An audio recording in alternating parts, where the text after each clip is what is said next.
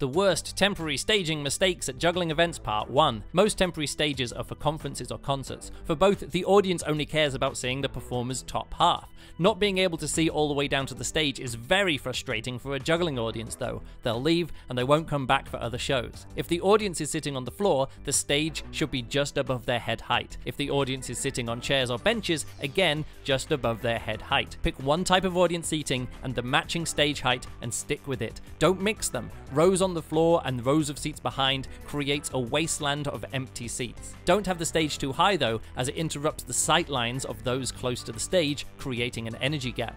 If there is no elevated stage, never use seats. Nobody behind the front two rows will be able to see the show at all. Jugglers would rather sit on the floor to see most of a show than to sit on seats and see none of a show.